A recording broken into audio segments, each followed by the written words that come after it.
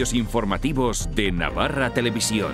Más de 250 mujeres que viven en Navarra son víctimas de la mutilación genital y actualmente unas 130 niñas están en riesgo de sufrirlo. Por eso hoy decenas de personas se han manifestado para decir stop mutilación a una violencia contra las mujeres que genera graves consecuencias sobre la salud física, sexual y reproductiva. Como están, buenas tardes. Esa concentración es uno de los eventos del Día Internacional de Tolerancia Cero contra esa práctica. A ese acto ha acudido Fátima. Conoce en primera persona las consecuencias de la mutilación genital femenina. A los cuatro años le arrebataron así sus derechos y ahora, como mediadora de médicos del mundo y sin renunciar a sus raíces, intenta sensibilizar a la sociedad. Me levantaron a la mañana, una ducha, que nos dijeron que una fiesta, entonces nosotros, y yo estaba contenta, las dos estamos contentas para ir a la fiesta. Entonces la fiesta ha convertido en un horror para nosotras. Ese día me convirtieron, día de fiesta convirtió en día más horrorosa de nuestra vida. Es ahí la ven la procesionaria la que está provocando reacciones fatales en los perros. Tanto es así que incluso se ha contabilizado alguna muerte. Son más de 100 los que han acudido a hospitales veterinarios en Navarra. Hoy les contamos cómo prevenir esta situación. El animal empieza a babear muy rápido, se empieza a edematizar la lengua, llega a tal manera que se puede inflamar la glotis y ahogarse. Otras veces nos ha parado que el animal es muy glotón y se ha tragado el gusano entonces genera unas gastritis, el esófago se quema entero, hay que poner también tratamientos y es muy grave. En esta clínica, hemos tenido en este hospital, hemos tenido el fallecimiento de uno de los perritos que ha venido. Hemos llegado a tener fines de semana que han venido hasta 12 casos. En deportes, Martín medita hasta cinco cambios con respecto al equipo que perdió en Miranda. Vuelven Javier Flaño y Nino. Michael Mesa y Tano sustituirán a Merino y a Miguel Flaño. Y el entrenador ha confirmado la titularidad de Urcovera en la punta del ataque. Martín espera que el ambiente en estadio no se resienta después de lo ocurrido esta semana.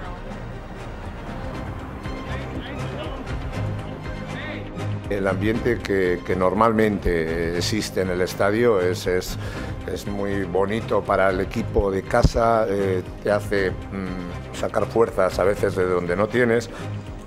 Y doble derrota anoche para nuestros equipos, una esperada, la de la Naita, que aún así dio guerra ante el potente Barcelona, y otra que no lo era. El Planasa debutó en el pabellón de la UPNA cayendo ante el colista.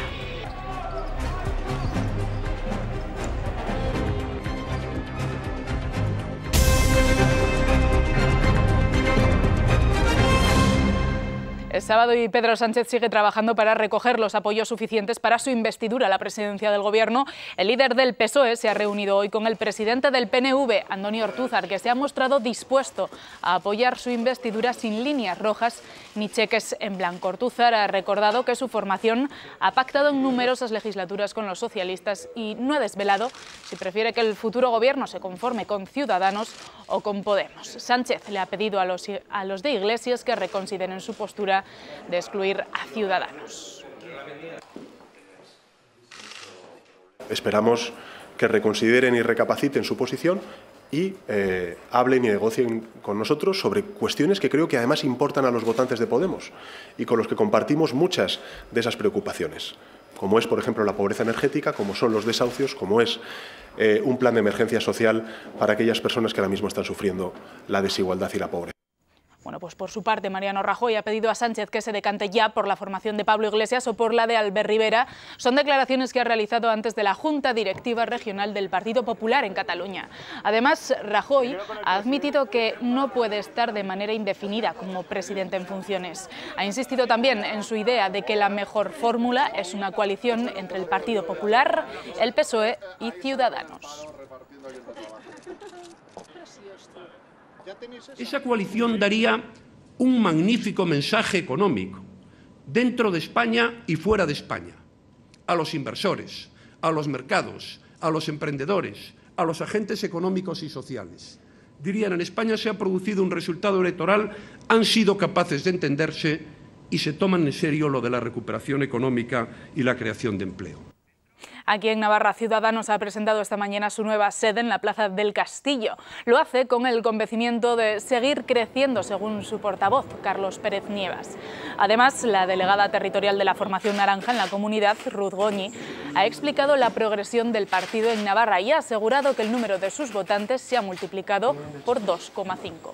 Sí, un igualdad de condiciones como con un ciudadano.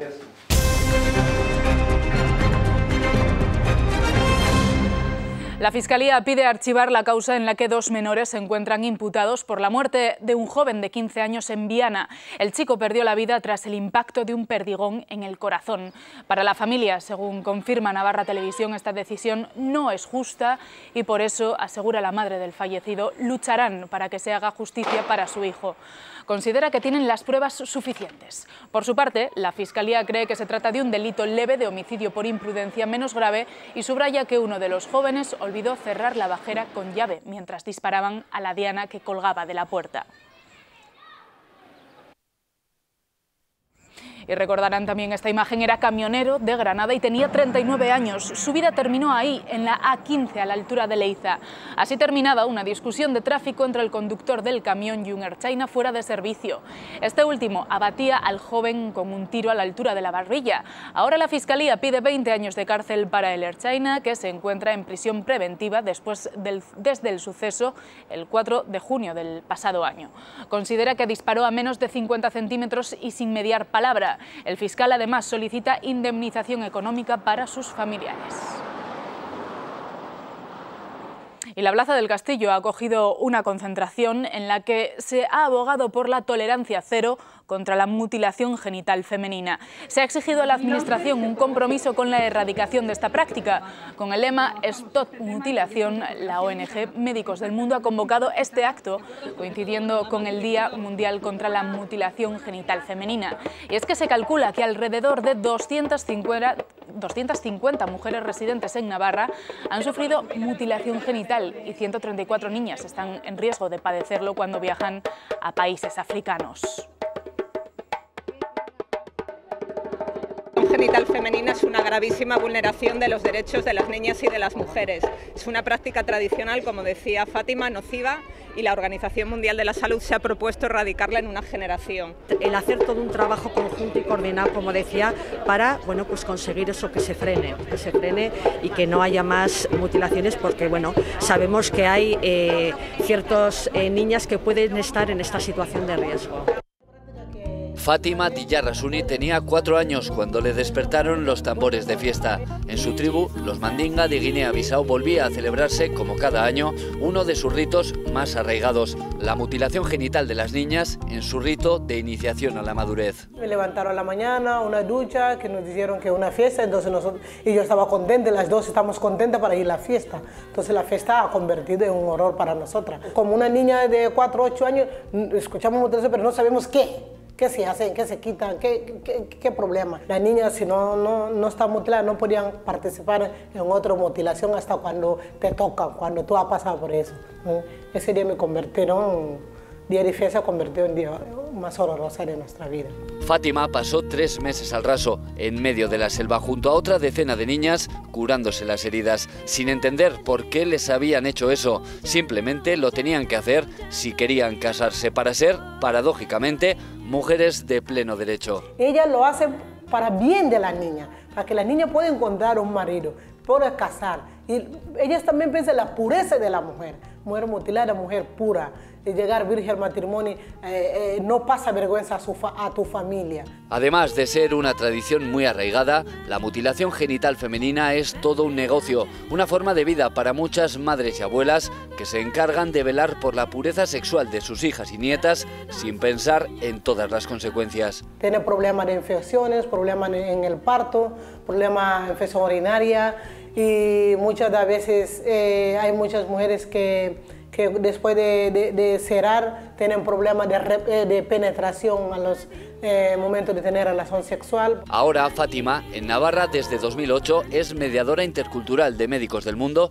entre la comunidad africana y los profesionales sanitarios. Es una de las 250 mujeres residentes en Navarra que han sufrido esta mutilación y trabaja activamente para concienciar al mundo del sinsentido de la ablación. Falta mucho porque África es muy grande, la comunidad donde se practica mutilación es muy grande, entonces una organización que no tiene medios, medios suficientes para trabajar es difícil llegar a las zonas rurales. Fátima tardó 15 años en quedarse embarazada como consecuencia de la mutilación y ahora esta madre orgullosa se dedica en cuerpo y alma a evitar que miles de niñas tengan que pasar por este trauma. Un trauma que han tenido que superar más de 140 millones de mujeres en todo el mundo por no poner en cuestión una tradición ideada por los hombres para someter a las mujeres al control sexual.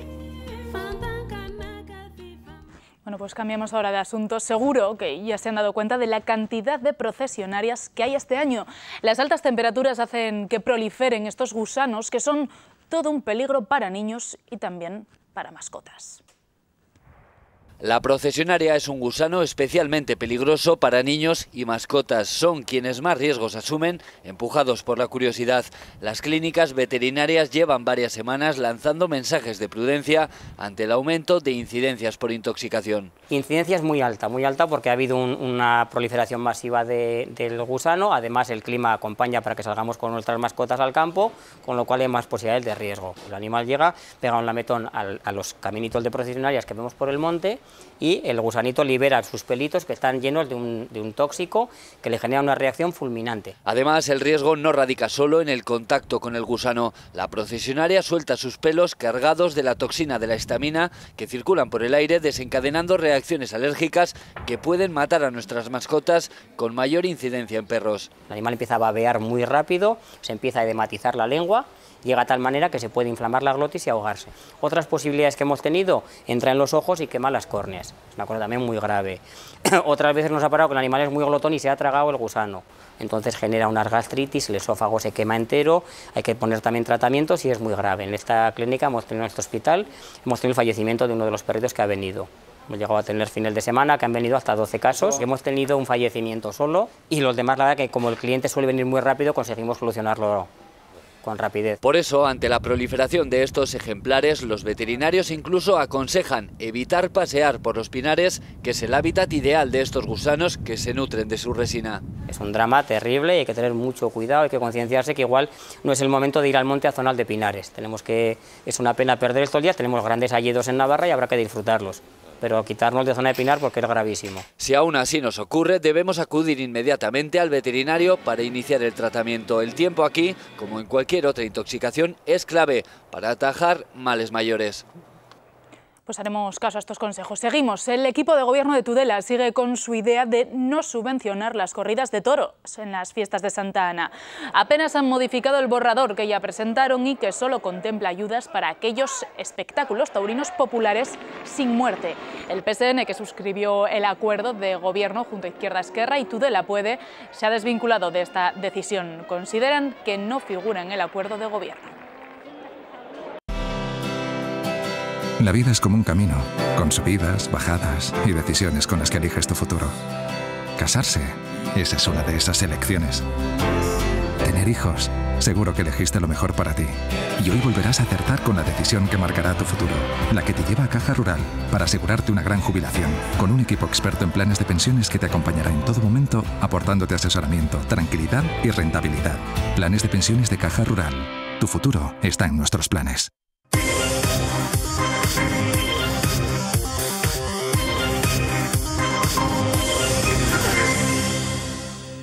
Cinco cambios esperan para el partido de mañana de Osasuna contra la Almería. Algunos cambios obligados y otros por decisión del técnico. Urco Vera apunta a titular en la delantera. Martín no está preocupado por no estar ahora en una plaza de ascenso directo. Considera que lo importante es seguir sumando para llegar con opciones al tramo final de la liga. Y afirma que lo de Miranda ya es pasado y que no merece la pena flagelarse con esa derrota. De ahí debemos de estar hasta el final. No se trata ahora de alcanzar una meta, se trata de ir sumando y, efectivamente, pues si nos colocamos ahí, nos colocamos, pero si no, eh, nada va a ser definitivo hasta, hasta los últimos ocho partidos. Michael Mesa ocupará la plaza de Merino en el centro del campo.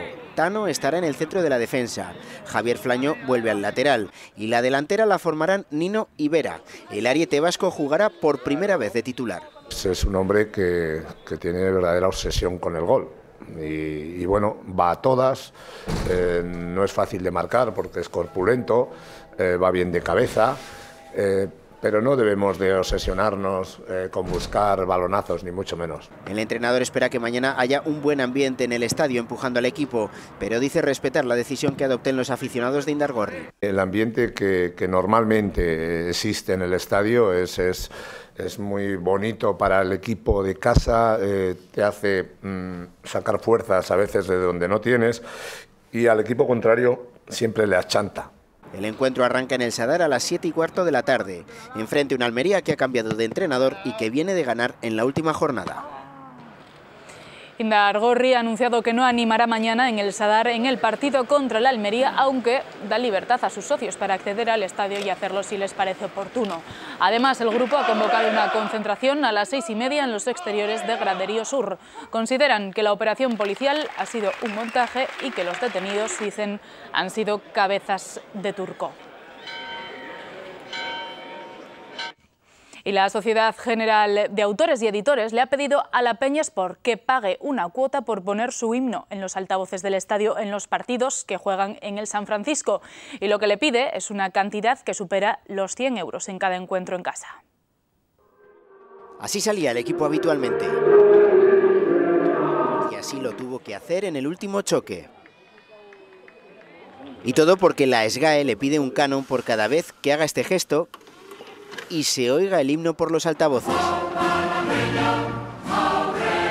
Una medida que tiene poca lógica para el club tafallés. Nos anuncian que tienen el, himno de la Peña Sport registrado y como tal, como nosotros emitimos el himno, pues hay que pagar la tarifa correspondiente que ellos tienen especificada. El club ha recurrido la medida porque la consideran injusta. Apelan a que fue un exjugador y exdirectivo el que compuso los sones de la canción. El himno está hecho por, por una persona que la Peña es por la familia suya prácticamente porque estuvo de jugador, de entrenador, de directivo, pues era un hombre muy querido en el pueblo de, de, Tafalla, componía obras musicales, literales, y dijo, pues voy a hacer también el himno de la Peña Sport para la Peña Sport. ¿no? Incluso la plantilla nota el cambio. Se les hace extraño saltar al campo en medio del silencio y esperan que se solucione este conflicto. Tenemos un, un aficionado que es, que es un artista ¿no? y que nos anima muchísimo y que bueno, pues sí que podía cantar a capela y, y, y estar ahí todos escuchándolo, pero bueno, no me parece que sean la, la solución. Creo que habría que, que solucionar de otra manera, aunque siga el aficionado cantando. Tafalla se ha convertido en centro de atención al protagonizar este hecho tan extraño para ellos, porque para la Peña lo habitual era poner el himno y ahora les supone un dinero con el que no contaban.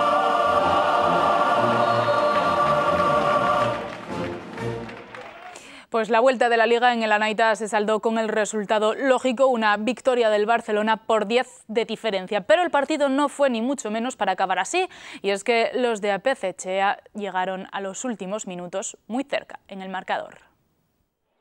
Tras más de un mes sin competición, la Catedral recibía al todopoderoso Barcelona estrenando su nueva imagen azul. Los navarros quisieron dar un susto a los catalanes, pero no pudieron, y es que el equipo visitante, plagado de internacionales de primera fila, terminó por imponer la lógica. El equipo local incluso gozó de ligeras ventajas al comienzo del choque. Saric, brillante en la portería azulgrana, no permitió que los navarros se fueran y en ataque Sarmiento y Lazarov tiraron de su equipo para llegar al descanso con 12 a 16. Y cuando lo lógico sería pensar que el Barça sacaría el martillo pilón, apareció la mejor versión de la Naita. Salió peleón en el segundo periodo, logró empatar a 18 con dos goles consecutivos de Ángel Pérez al aprovechar una exclusión rival. La igualdad se prolongó hasta el minuto 47, pero a partir de ahí el equipo local se apagó, momento que aprovechó el conjunto visitante para sacar su máximo potencial en el tramo final y terminar ganando por 22 a 32. En las filas azulgranas, el navarro Eduardo Gurbindo, subcampeón de Europa con la selección la semana pasada y pieza importante en el 7 azulgrana. Salió de inicio con su equipo, fue excluido una vez y anotó un gol en su único lanzamiento a puerta. Y el básquet Navarra estrenó anoche el que es su nuevo pabellón con derrota. Perdieron los de la MUA en la UCNA por 59 a 69 contra el Prat Juventud. Fue un partido gris de los navarros ante el colista de la categoría. Desaprovechó el básquet Navarra una buena oportunidad para poner tierra de por medio con los puestos de abajo y acercarse a los playoffs. Ni siquiera sirvió el debut del ruso Yarolev, que fue de los más destacados del encuentro. La vida es como un camino, con subidas, bajadas y decisiones con las que eliges tu futuro. Casarse, esa es una de esas elecciones. Tener hijos, seguro que elegiste lo mejor para ti. Y hoy volverás a acertar con la decisión que marcará tu futuro, la que te lleva a Caja Rural para asegurarte una gran jubilación, con un equipo experto en planes de pensiones que te acompañará en todo momento, aportándote asesoramiento, tranquilidad y rentabilidad. Planes de pensiones de Caja Rural. Tu futuro está en nuestros planes. Anoche la Asociación Cabalgata de Reyes celebraba su fiesta anual para clausurar todos los actos navideños. Acudían unas 250 personas y también personas del equipo de gobierno municipal como su alcalde, Joseba Sirón. A lo largo de la gala se entregaron los premios de los distintos concursos que organiza la asociación, entre ellos el concurso de dibujo, el de redacción o el de roscón de reyes. Y este es fin de semana de carnaval y un año más las calles de muchas localidades navarras se llenarán de personajes de ficción. Entre los disfraces más demandados este año, los personajes de la saga Star Wars o los Minions. Este fin de semana podemos cruzarnos por la calle con un camaleón gigante sin quedarnos atónitos. Llega el carnaval y son muchos los que no se resisten a cambiar de personalidad por un día, ocultos tras un buen disfraz. Como cada año llegan las novedades al amparo del cine o las series de televisión. Pues este año para los niños pequeños, eh, sobre todo los que más se han puesto de moda son el Pau Patrol, que estas navidades ha sido un exitazo para los niños y sobre todo luego ya para un poquito más mayorcitos los de Star Wars. Y para las niñas eh, la serie televisiva de, de los descendientes pues las niñas están, la verdad, locas con ellas. Para adolescentes, los disfraces de Minions. Aunque este año el carnaval se adelanta y acabamos de salir de la cuesta de enero, el dinero no es excusa para no disfrazarse, ya que hay precios para todos los bolsillos, desde los 10 hasta los 45 euros según los complementos. Los más jóvenes prefieren disfrazarse en cuadrilla, mientras que los adultos van por libre. Vienen ya cuadrillas grandes y lo que buscan es buscar un disfraz en el que todos puedan ir de la misma temática y divertirse por la noche. Los hombres van de eh, fútbol americano y las, y las mujeres pues van de animadoras. Luego se ha puesto muy de moda también el disfraz de, de Duffman, de los Simpson. Y luego, pues bueno, lo de siempre. Aparte de indios y vaqueros, pues los piratas, los payasos, lo que es lo clásico. Tudela da un año más la bienvenida al carnaval, al desfile de cipoteros que le da inicio oficial en el casco antiguo. Le siguen el fin de semana los desfiles más tradicionales por el centro de la ciudad. Pues además de un fin de semana de disfraces, este es el fin de semana de la fiesta del cine. Hoy todos los actores, productores, en definitiva artistas de nuestro país, se reúnen para celebrar la Gala de los Goya. Y como es sábado, ya saben, también les mostramos los estrenos de la cartelera. La única salida es buscar una nueva ruta por tierra. Este puede ser por fin el año de Leonardo DiCaprio en los Oscar. En el Renacido interpreta a un trampero que es abandonado a su suerte tras ser atacado por un oso. Mi hijo era lo único que tenía y él me lo quitó, ¿lo comprendes? Volverá de entre los muertos para buscar venganza. Sabe lo lejos que he llegado para dar con él. La película acapara 12 nominaciones. Ya no tengo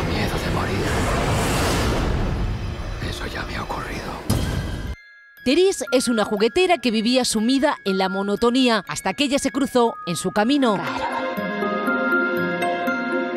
Juntas vivirán una historia de amor imposible que cambiará sus vidas para siempre. Carol cuenta con seis nominaciones a los Oscar, incluyendo la de Mejor Actriz para Kate Blanchett. Reglas del juego. El juego es secreto. Un jugador propone las pruebas del otro. Dos hermanos vuelven a encontrarse para jugar al juego más peligroso. Si yo gano, tu precio será desaparecer de mi vida para siempre. Y llegarán hasta donde haga falta para terminar de una vez la partida. Una vez comenzada la prueba, No hay marcha atrás. Los cobardes pagan su precio. Reverso, la primera película del director Carlos Martín, nos hará saltar de nuestros asientos.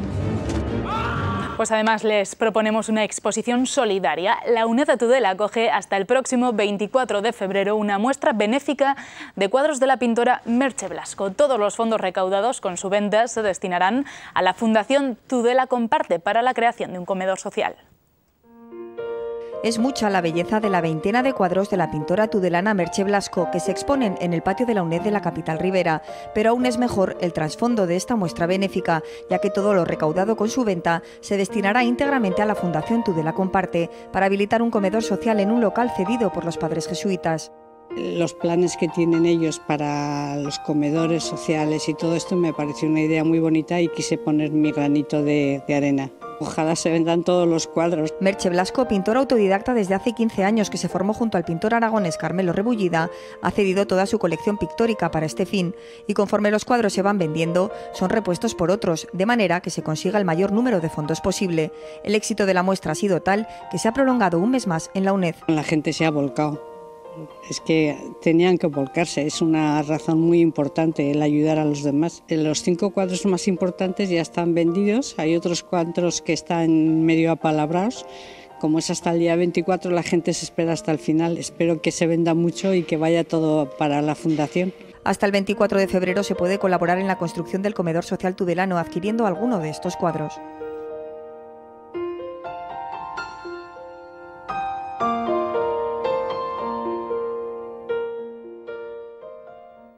Pues no tenemos tiempo para más, así nos vamos, pero saben que volvemos a partir de las ocho y media de esta tarde aquí en Navarra Televisión. Hasta entonces.